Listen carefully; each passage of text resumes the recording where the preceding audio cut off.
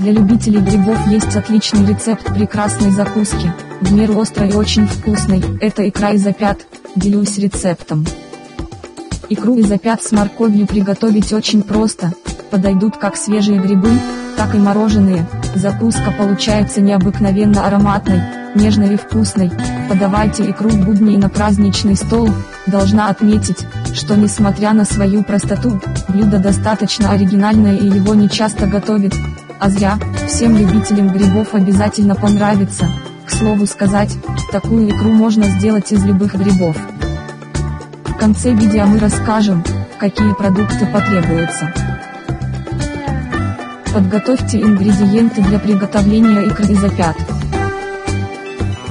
У меня опята мороженые, но из свежих будет еще вкуснее. В любом случае опята тщательно помойте, мороженые предварительно разморозьте, выложите в кастрюлю и залейте водой, варите 20-25 минут, после воду слейте и хорошо промойте опята под проточной водой.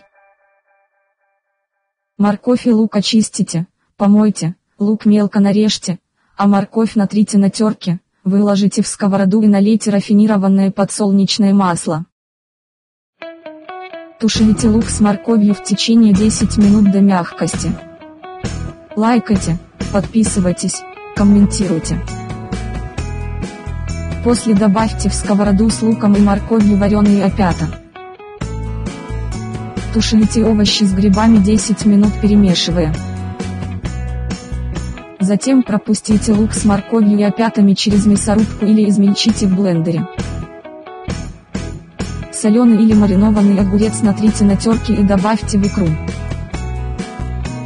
Икру из опят посолите и поперчите по вкусу, перемешайте все ингредиенты. Икра из опят с морковью готова, подавайте на закуску. Подписывайтесь и ставьте лайки.